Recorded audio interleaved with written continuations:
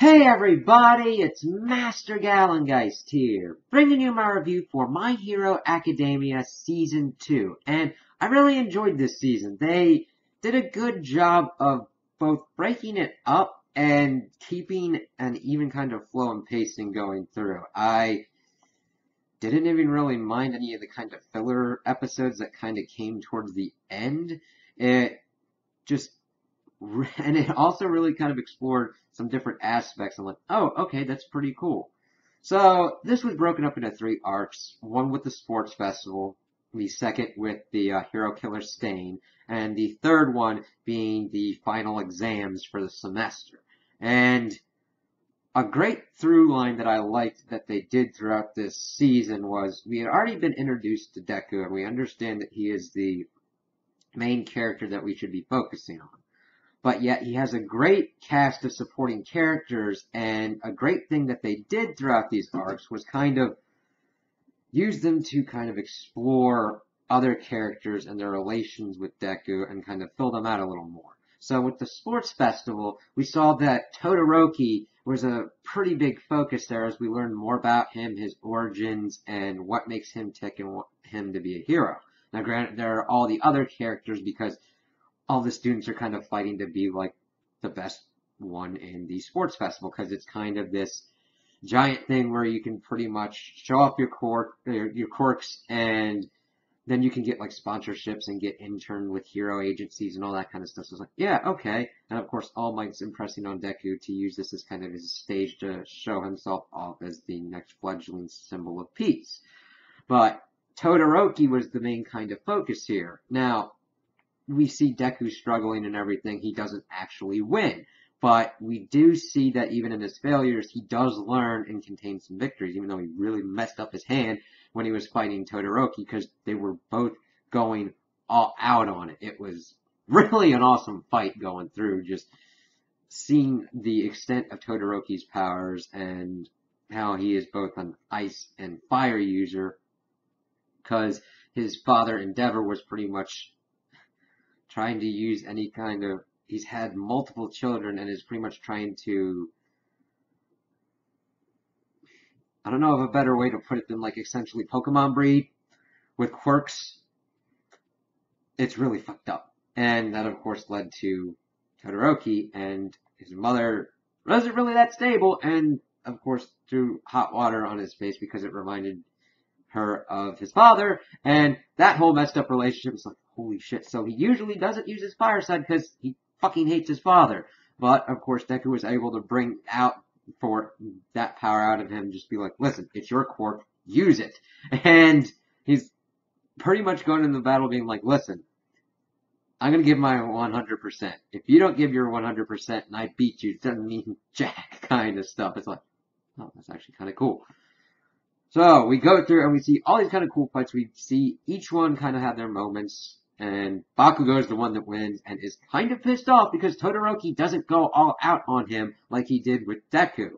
And it's because he's still kind of reeling from what happened and Bakugo just fucking pissed off and just seeing him chained to the podium was fucking glorious. Eh. And so we get a lot of cool moments in there. We see the first part they had to do an obstacle course and how Deku won that was pretty kind of ingenious using a door to get through the minefield. And then of course the cavalry battle where he kind of messes up with his team but still comes out alright. But we see him kind of having different kind of uses of not different kind of uses of his powers, but more understanding of his powers because in one fight he was pretty much almost mind controlled to be walking out of the ring, but thanks to kind of like injuring himself because of his quirk that All Might has given him, he was he heard like these voices and stuff like that. Okay, that's kind of weird.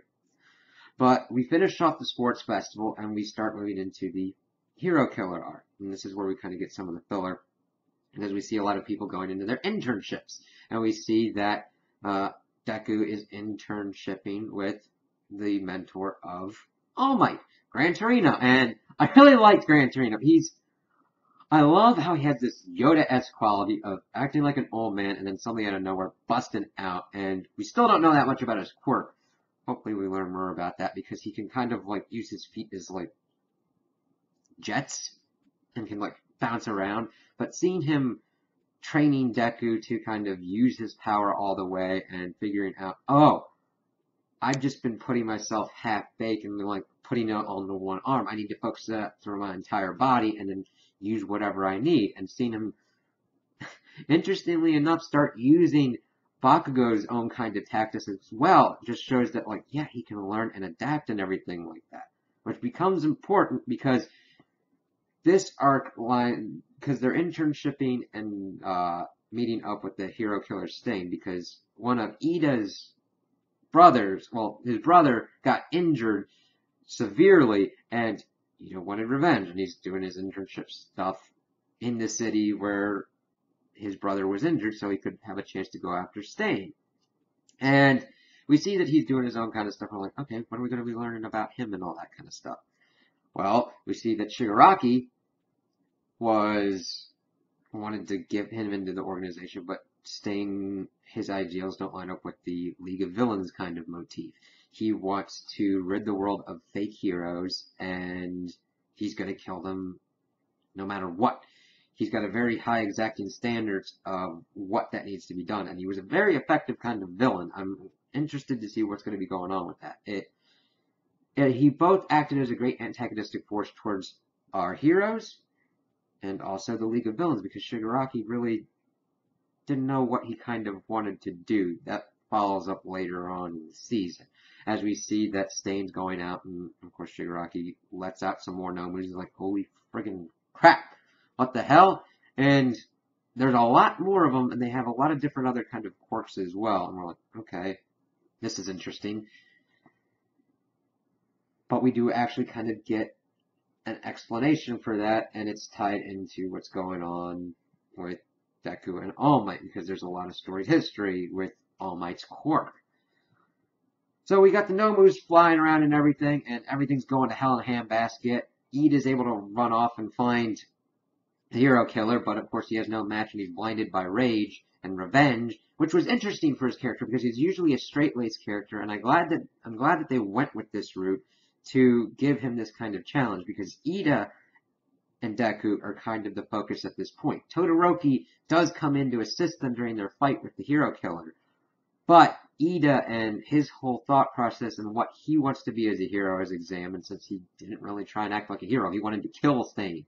And, uh, but of course, he was almost killed by Stain because like, you're no hero. You just want revenge and everything. Holy shit. As he's trying to kill another hero. But of course, Deku comes leapfrogging in like Frogger and is able to kind of deal with them a little bit before Stain uses his power to start immobilizing people. And he can just lick their blood or and pretty much get them to be just paralyzed. But of course, it's dependent more on blood type. They are able to effectively take him down because Todoroki was able to have Endeavor kind of taking on the Nomus and just kind of slip off to kind of help his friends. They of course are able to take him out.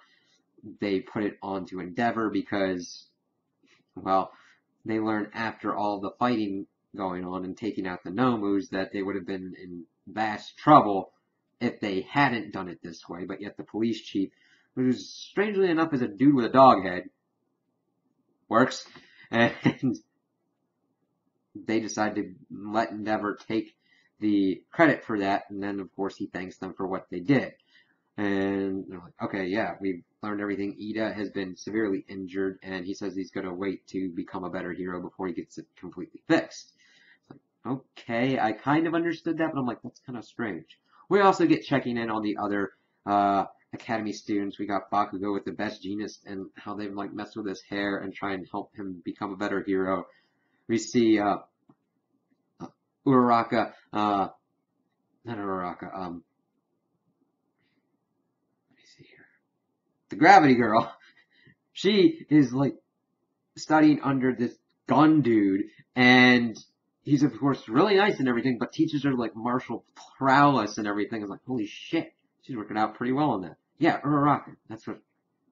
Yeah, but that's kind of where we got the fillers and everything. We see everybody kind of like working their stuff out. It's like, okay, this was actually pretty cool. Of course, Stain getting caught and saying that the only person that he would allow to kill him would be All Might kind of starts this kind of floodgate reaction where people are sharing his ideology online, and that's of course bringing more people out of the woodworks to be villains and trying to get them to be to the League of Villains. So, oh, okay, that's kind of interesting and kind of dangerous. So it's like, wow, that they should have really thought about that as they were capturing him and what they were going to be doing with him. Granted, this would be happening regardless. This was probably a good plan on the League of Villains part to, of course, have them associated with him. So that way they could get more recruitment to do this tidal wave. That, of course, affects the teachers at UA of how they do their exams. And, of course, there would be a written and a practical. And they paired everybody off. And, of course, we get Deku paired with Bakugo going up against All Might. That was a pretty kick-ass fight scene. I mean, they do a lot of good balance of comedy going on, actual understanding of the whole plot and moving it forward, and the action scenes. And before we got to this, wrapping up the Hero Killer Stain, we get um, All Might explaining to Deku how the power works because he thought that Deku would be kind of afraid that Stain would be getting the power of uh, One for All. And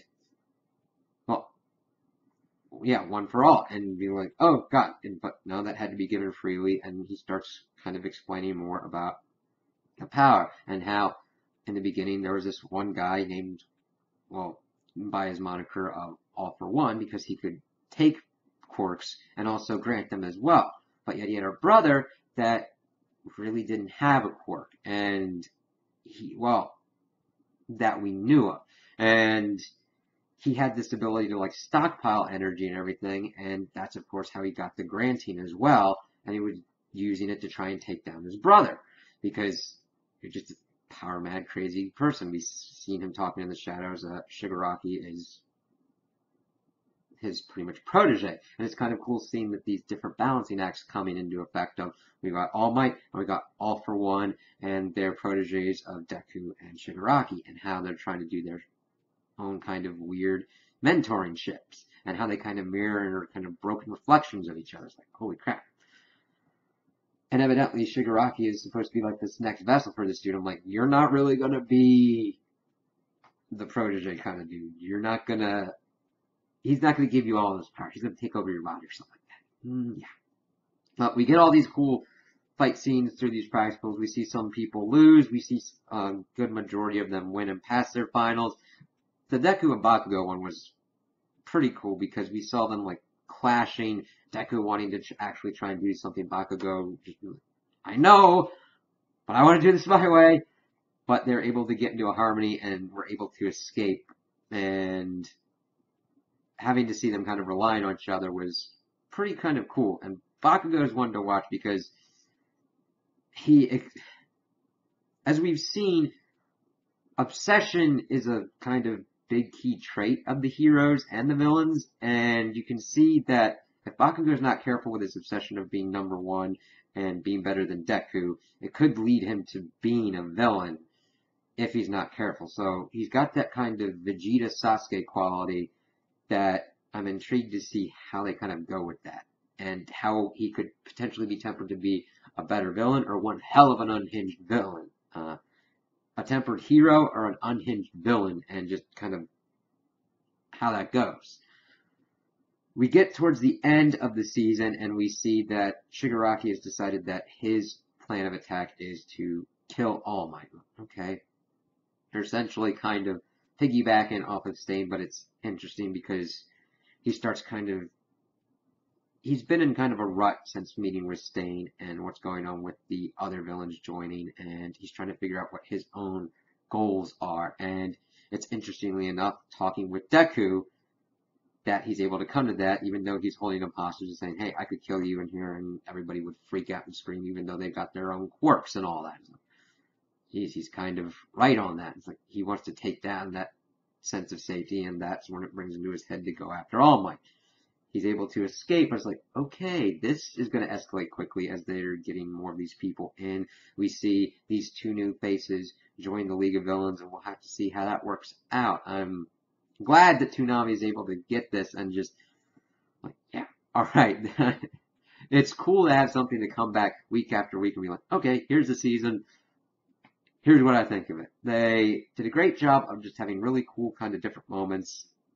Like seeing All Might having lunch with Deku and seeing Uraraka's like, oh my god, he's so adorable for asking Deku to have lunch with him and how he does it and just seeing all these different kind of characters used pretty well. Now granted, some of them are just relegated to the side and you don't see really much done with them, but I think that we have a good solid cast that they can rotate and do different kind of things with. I'm glad that we're seeing movement on like uh, Todoroki and Iida and them being brought into the forefront and having fleshed out moments. So I, at first I was thinking, okay, there's a lot of people here, but as we're seeing, okay, it's like, all right, Deku is the focus, but that can work to your advantage if you use him and his relationship around with the other kids, like Todoroki and Iida, and kind of use that to inform them and build stories around them. Okay, as long as we get some good rotation,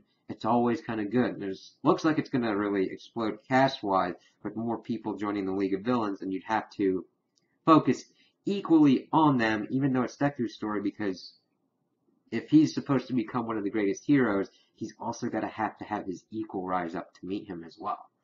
So I'm really excited to see what's going to be happening in season three since it's going to be starting next on Toonami, and I can't wait to see what we'll learn about with All for One and One for All and how this whole shakes out. So those are my opinions on the uh, anime. Tell me what you guys think in the comments below. If you liked it, if you didn't like it, if you agree with me, if you disagree with me. Also like and subscribe, and I hope you have a good day.